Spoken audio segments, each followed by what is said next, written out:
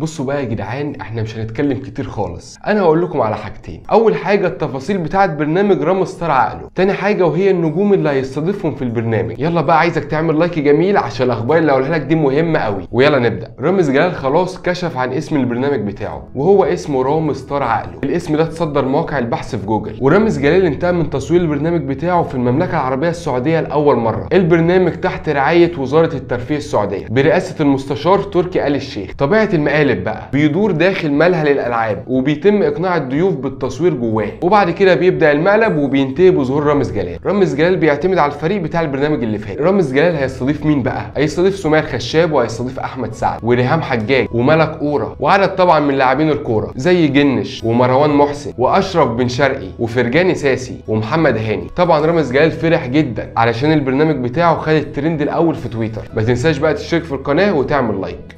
سلام.